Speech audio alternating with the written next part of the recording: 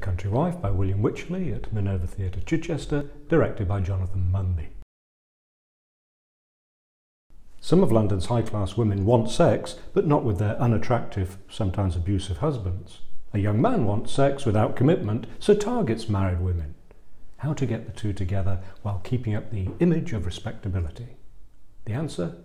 He pretends to be impotent. The Country Wife was first performed in 1675, but many of its elements could form the plot of a play for today, which may be why director Jonathan Munby has shifted the action to modern London.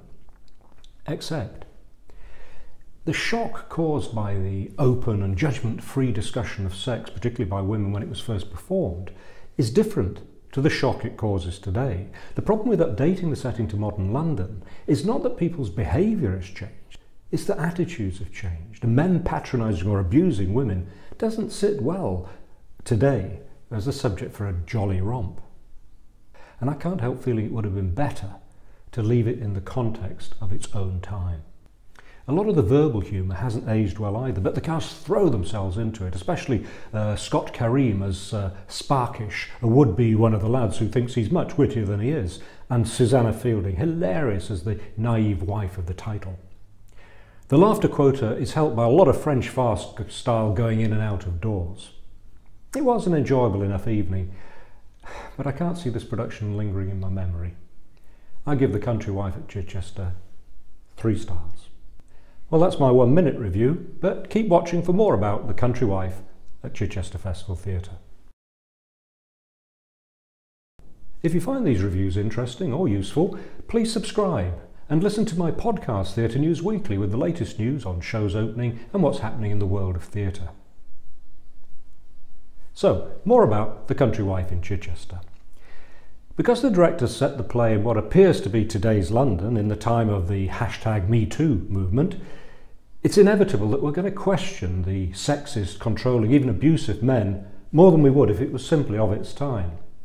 A production set in the modern day can still be funny, but it would need to be darker than this one in order to offer some comment, to give us some acknowledgement that we are looking at these people through 21st century eyes. Instead, the production remains in carry-on mode, uh, except for a hint that commitment-free sex may not be all it's cracked up to be. Also, by placing it in a modern day setting, the plot struggles to work. I mean, today's well-off women, if they want to cuckold their husbands, are usually independent enough financially and in lifestyle to be able to do it. Men or women who want sex without commitment only have to visit Ashley Madison or swipe on Tinder. Although I'm dubious about modernising the setting, I did like Sutra Gilmour's black and white set and costumes, uh, the kind of exaggerating outfits you wouldn't normally see outside of a designer's catwalk, contrast cleverly with the naive countrywoman's colourful everyday clothes. Although The Country Wife seems like a celebration of sexual liberation, Two of the characters are driven by romantic love, suggesting that Wycherley didn't think all men and women were thinking only of sex. So what did the other reviewers think about The Country Wife at Chichester?